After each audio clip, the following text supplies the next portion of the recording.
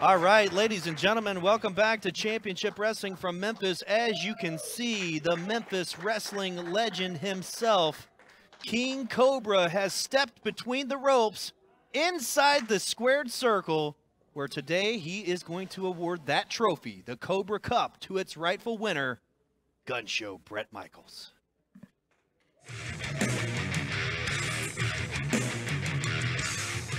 Ladies and gentlemen, please welcome the winner of the Cobra Cup, Brett Michaels. What a feeling this must be for that man right there, the gun show Brett Michaels. He's not new to Memphis wrestling or the Mid-South. He's been at it for over 20 years. And right here on Championship Wrestling from Memphis, he's finally getting his just due. Well deserved. He beat opponent after opponent. King Cobra raising the hand of the big man, handing over the trophy, and gonna step aside and let the young man have his spotlight. That's the gun show, Brett Michaels. He is your Cobra Cup winner, and I know he's probably gonna be drinking protein shakes out of that cup. I hope he washes it first, but yeah.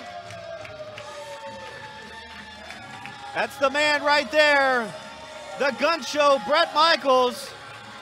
Wait just a second, fans. Who is this? That's that's a blast from the past. There's Johnny Dotson from Memphis Wrestling yeah, what's Days. What's he doing out here? I have no idea. And who's that behind I, him? I know exactly who that is behind him, but why? You better look him? out! There's the attack. That's Alan Steel, the Memphis Mauler. Seen him in four weeks. Where has he been? Where have both of these guys been? Johnny Dotson and Alan Steel putting down Brett Michaels two on one, choking the life out of him while Johnny does the dirty work. And what are these gloves? Alan Steel has gloves on. No proof. And he's staring at that cup. He's leaving no fingerprints behind. A crime has just happened, ladies and gentlemen. Why, Alan Steel? Why?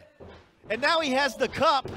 Oh, those gloves look familiar. Maybe a little O.J. Simpson-y.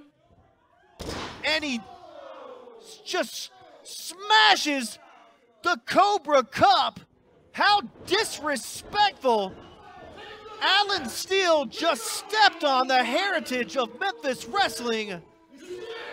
And now he's rubbing Brett Michaels' face in it. Disgusting absolutely disgusting, spitting in the face of the heritage of Memphis wrestling. Ladies and gentlemen, thank goodness we're out of time this week. Disgusting display by Johnny and Alan. We'll see you right here next week, folks. Disgusting. Can't believe it. Alan Steel and Johnny Dotson. I hope they're happy.